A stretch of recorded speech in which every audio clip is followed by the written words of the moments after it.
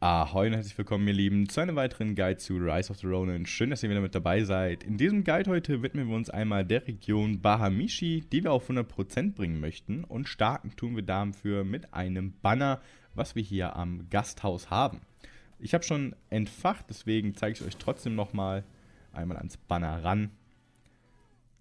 Und weiter geht es dann mit einer Truhe, meine Lieben.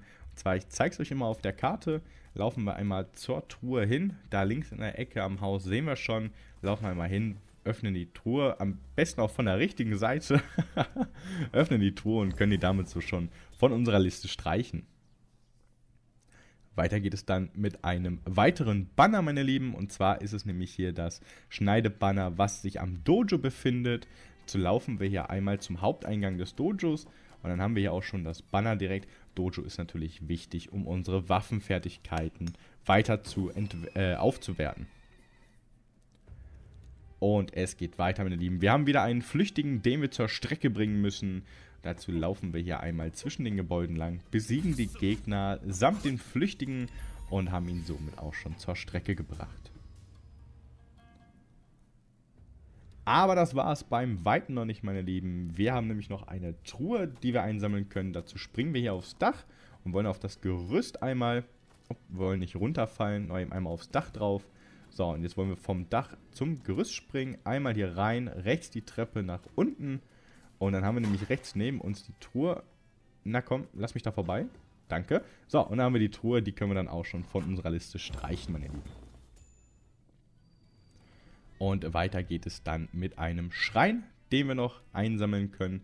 Denkt immer dran, meine Lieben, Schreine sind immer wichtig, um Fertigkeitspunkte zu kriegen. Laufen wir einmal hin, an den Schrein ran und beten wir einmal und kriegen so auch den Fertigkeitspunkt.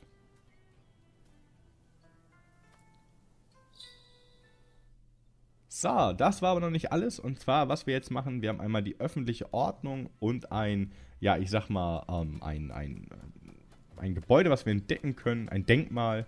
So, laufen wir hier einmal hin. Hier haben wir das Wahrzeichen, so heißt es, das Wahrzeichen besucht.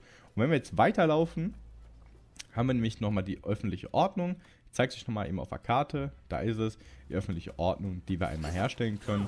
So, greifen dessen Leere an.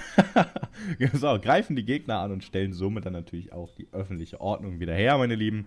Und die schöne Cutscene kommt. Wirklich ist eins der Highlights in dem Game. Ich finde die Cutscenes immer wieder aufs Neue geil. So, aber das war's noch nicht, meine Lieben. Wir haben noch ein paar Sachen einzusammeln. Dazu machen wir einmal die Karte auf und haben hier eine Katze, die wir einsammeln können. Laufen wir auch von dem Banner hier aus. Einmal hier über die Wiese nach unten und dann sitzt die Katze nämlich da gleich auch in einem Baum, möchte von uns natürlich gestreichelt werden. So, einmal streicheln.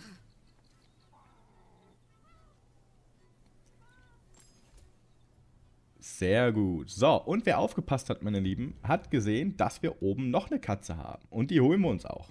So, also einmal mit dem Enterhaken wieder nach oben. Und dann laufen wir Richtung Katze. Die ist dort oben auf dem Turm.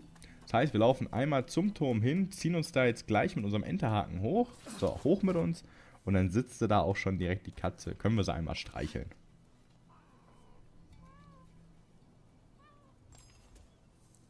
So, eine letzte Sache fehlt uns noch, meine Lieben. Und zwar haben wir noch eine Truhe. Ich zeige es euch eben. Die sammeln wir natürlich auch noch eben ein. Einmal hier runtergesprungen. Und dann wollen wir jetzt quasi hier einmal hoch. So, einmal hier noch alles kaputt machen auf dem Weg hier links einmal ins Gebäude rein. Und dann haben wir da auch schon die Truhe, meine Lieben, und haben damit das Gebiet zu 100% erledigt.